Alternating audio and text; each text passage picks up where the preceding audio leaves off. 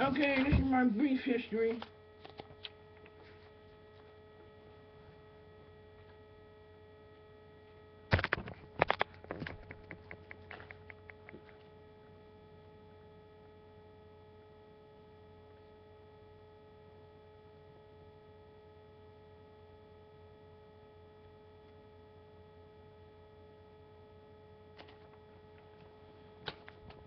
Yeah, that's the real Pindar in 1963. The Win Pindar was Pythagoras, a mathematician. I'll holler at you.